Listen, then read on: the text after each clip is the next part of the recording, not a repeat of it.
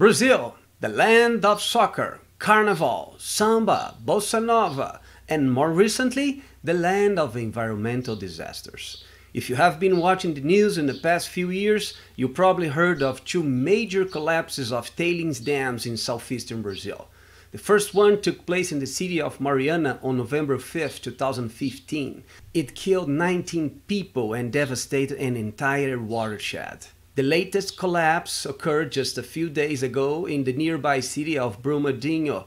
This time, however, the failure was way more tragic. About 100 deaths have been confirmed and hundreds are still missing. Brazilians are in shock. How is this possible? Why haven't we learned from the previous disaster? Many people are now trying to explain this tragedy, which has many implications not only to Brazilians, but to governments and mining stakeholders worldwide. However, as I argue in this video, the causes of and remedies to disasters like this are very complicated.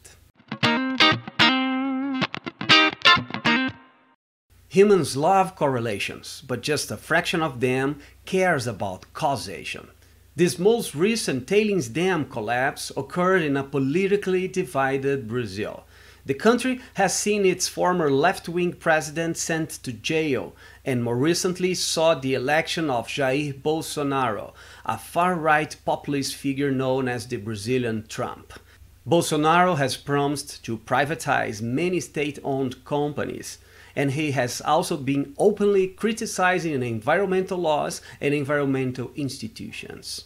Many Brazilians are using this political context to explain the failure. People on the left are now framing the disaster as a signal of what is yet to come with Bolsonaro. People on the right are blaming the former left wing government for being incompetent and ineffective in managing risks.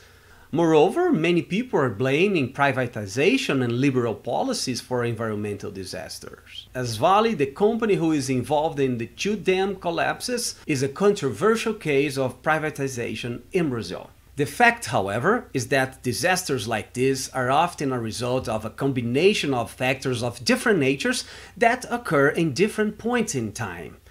Although easy explanations are rhetorically strong, they rarely get close to reality. Three years after the first dam failure in Mariana, people are still debating its engineering and political causes. The same sense of mystery is very likely to bloom in the most recent case of Brumadinho. Investigations have, of course, just begun, but given that the dam has a several decade old history of engineering, inspections, licensing, and management, we will probably end up with inconclusive explanations. But the company, regardless of the investigations, have already come up with a narrative. They are blaming the geoengineering technology used in the two tailings dams. The company has just announced that will be decommissioning all of its upstream dams. According to the company, the upstream method of raising dams is very likely the cause of the two collapses. The company might be correct, but in any case, we have to remember that such risky technologies have long been accepted by a system of regulations, institutions, auditors, communities, and engineering practice. This very same system, if left unchanged, is likely to accept other risky technologies in the future. So, if we are seriously interested in preventing disasters, we have to take a broader look into what is going on in the system.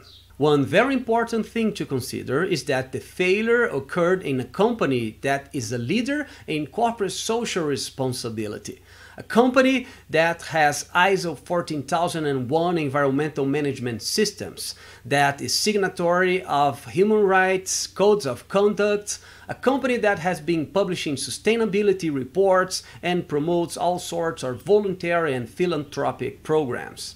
A few years ago, Vale was proudly telling everyone that it was ranked one of the world's most sustainable companies. And now, ironically, people are asking whether this company should actually exist. It takes a lot of money and effort to convince stakeholders that you deserve a license to operate, that you care about human rights and the environment. but it takes literally just a few minutes to completely destroy your reputation. BP and other large corporations who have been through similar disasters know quite well what this means. The two disasters also expose many flaws that exist in current environmental licensing and impact assessment policies. The mining operations in Mariana and Brumadinho had environmental licenses and had gone through environmental impact studies that were supposed to prevent catastrophes like this. But in Brazil, we know for sure that environmental agencies are underfunded. They lack the capacity to manage the licensing processes and follow up on the many licenses conditions. And in the Brazilian state of Minas Gerais, the environmental agencies can grant licenses without any meaningful analysis of the risks of a dam failure, which is responsibility of the Federal Mining Agency. This siloed approach, where the environmental agency checks biophysical and social issues and the mining agency checks dam safety, leads to a very short sighted understanding of risks. This is plain wrong and must change. We have also to question engineers and auditors. Dozens of engineers and auditors have evaluated those two dams. Again, the investigations have just begun but the companies arguing that they were fully complying with regulations and that the inspections reports were telling that the dam was safe. If the company is indeed correct, then we either have a case of sheer incompetence or of limited technical knowledge on the issue. A knowledge gap is part of Vale's current narrative. The company believes that the state of the art of upstream dams are not fully capable to capture the risks of failures. If that's the case, then engineers and auditors' mistakes are just an indirect consequence of the books they read. But to many, many people, the dam failure is probably the result of negligence of company and regulators. In Brazil, like in many countries, governments tend to welcome mining enterprises because despite their environmental side effects, they bring jobs, revenues, and infrastructure. This is particularly strong in current day Brazil, which is going through a huge financial crisis. State and local governments are working under severe budget deficits. They cannot even cover payroll. The mayors of both Mariana and Brumadinho have already stated that without Vale, their local economies, like the tailings dams, will collapse. Such a context has psychological effects in politicians and decision makers.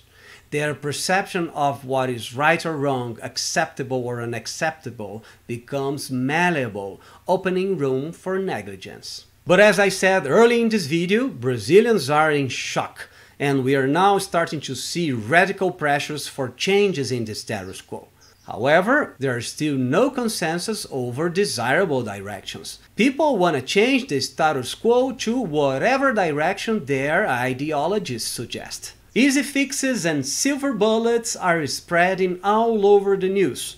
These are sad signs that our political crisis is not over and that Brazilians still lack the discipline and patience to address complicated problems.